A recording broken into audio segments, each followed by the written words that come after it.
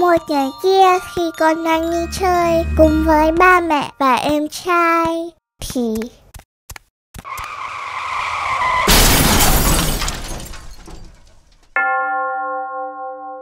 Trước khi băng sang đường, dừng lại, nhìn bên trái bên phải, lắng nghe, suy nghĩ, băng sang đường cẩn thận, cứu chính mình. Hãy đi bộ an toàn